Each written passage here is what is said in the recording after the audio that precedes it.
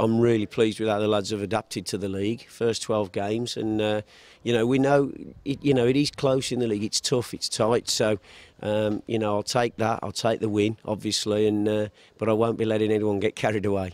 I thought Danny Edwards turned the game when he come on as well. I thought he was superb. But um, Egan and Jevons were great in midfield along with Bridget. In fact, I could name them all because at times Ryan Price and the defenders kept a clean sheet. So you know all of the lads deserve great credit today.